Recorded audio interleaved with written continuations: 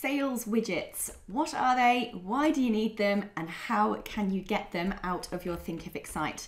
So, sales widgets basically is a piece of HTML code, a piece of coding that is available for you to very easily find, copy and paste from the back end of your Thinkific school, which when you paste it into your website will automatically pop up a, a, little box that looks like this. So it will actually um, suck out your course thumbnail, it will suck out the pricing and suck out the button that people can then click on to take them directly to your school where they can go to the course landing page, enroll and sign up. This is a really great, great way for you to uh, be able to post these little sales boxes onto your website menus, sidebars, inside blog posts and so on.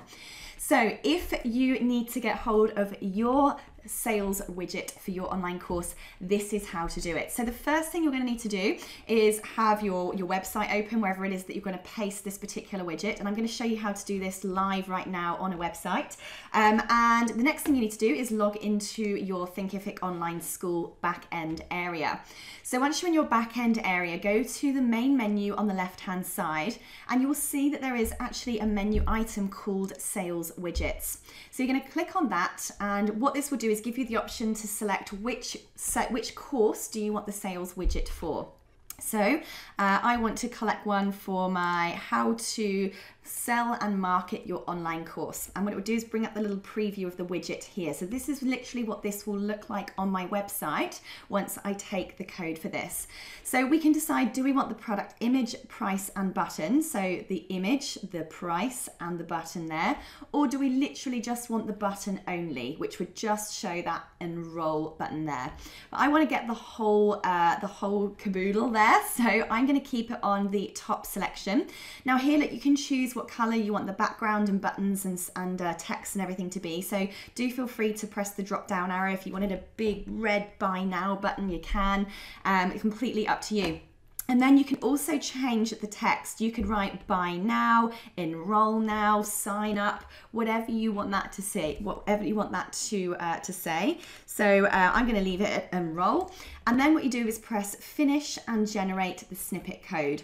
And this will bring up this big line of code. It might look freaky to people who are not used to HTML coding. Don't worry about anything other than quite simply copying and pasting. So copy that text that comes up, then head on into your website wherever you're going to post this. Now, I've made a little space where I want this widget to go. So all I'm going to do is press add content and add HTML. So I'm going to drop this box for HTML coding into my site here and it will say, what's the code, Sarah? So give that a second to load up and it will give you a box where you can now paste that HTML code in. So once it's loaded, this is the page that will come up and you'll see here there's line one. All you're going to quite simply do is paste. Press paste of that code that you just copied from your Thinkific school and press save. Give it a moment to pull that in and you will see how that uh, sales widget will then preload. So I'm just going to refresh my page that now shows as the sales widget.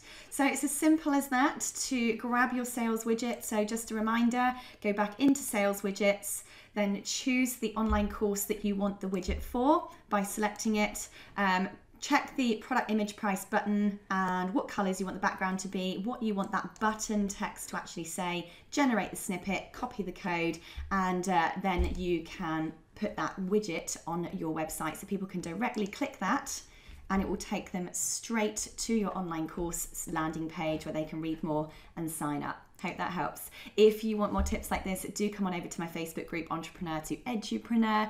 And of course, do feel free to join my training courses, sarahcordiner.com forward slash course.